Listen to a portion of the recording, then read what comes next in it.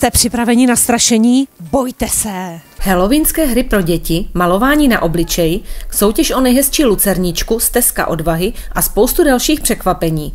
Tak to je zábava, kterou nepřekazil ani déšť a naopak přilákal spoustu rodin v maskách.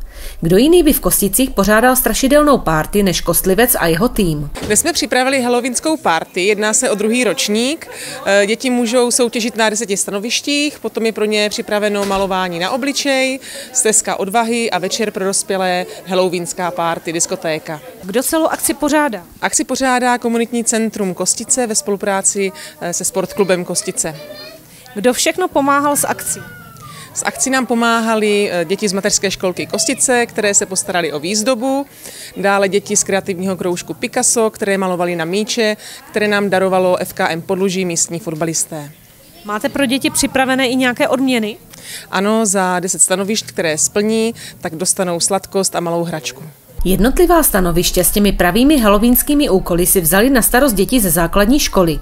A jaké úkoly například děti museli plnit na stanovištích? Matěj, co je úkolem na tomto stanovišti? E, děti musí vlastně trefit všechny tři, všechny tři lepky touto pistolí. Jakou zombie zbraň na to použijou? Zombie zbraň je nerv, a střílí to plastové náboje. Úkolem na tomto stanovišti je uh, trefit všechny míčky do pusy dýňáka. A kdo je šikovný, může hodit i okem. Šárko, co je úkolem na tomto stanovišti?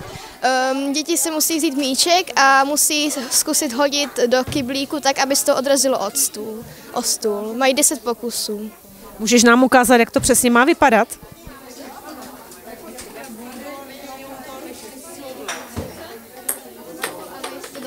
Strašidelná stezka odvahy. Při vzpomínce na svá dětská léta si vzpomínám na to zvláštní mrazení v zádech a husí kůži. Na co se museli připravit rodiny s dětmi v Kosticích? Mohou se těšit na Jasona, na kostlivce, na dva klauny a ještě nám má přijít jeden duch. Uvidíme, jak to dopadne, prší, tak snad to vyjde. Jak dlouhá bude trasa? Trasa povede kolem hřiště, bude kratší než loni, protože loni vedla po poli a vzhledem k tomu, že prší, tak se tam nedá jít. V dnešní době jsou již strašidelné masky tak dokonalé, že se musí leknout každý.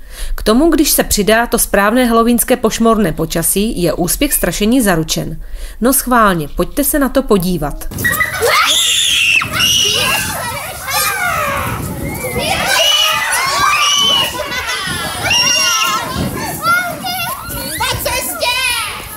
I přes obavy z počasí z toho nakonec byla velmi podařená akce v Kosticích, plná masek, nádherné strašidelné výzdoby, soutěží, úžasu v dětských očích i spokojenosti rodičů, kteří mimochodem také své kostýmy i líčení dovedli k dokonalosti. Mírné strašení je zdravé a posiluje činnost srdce. A teď pro silné povahy